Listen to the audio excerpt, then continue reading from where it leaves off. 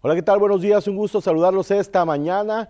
Vamos a la información más fresca de la información y comenzamos con esto que está publicando el presidente de la República, Andrés Manuel López Obrador. Tenemos que darle a la salud pública un enfoque de prevención, es lo que está diciendo durante la conferencia matutina. Sin embargo, un problema es que no puede haber prevención si no hay medicamentos. En más información, una noticia para alcaldes de la entidad veracruzana. Veamos lo que está publicando el gobernador del estado, Cuitláhuac García Jiménez, ahí quien comenta que al terminar el día recibió al auditor superior de la federación, quien el día de hoy sostendrá una provechosa plática con alcaldes y responsables de ejercer fondos federales. Así es que mucho cuidado, hay que ejercer bien los recursos federales. Sí, Protección Civil del Gobierno del Estado en breve va a actualizar lo que es la alerta gris y es que este norte que eh, se espera para las próximas horas, a partir, sobre todo a partir de mañana, ya se contempla como un norte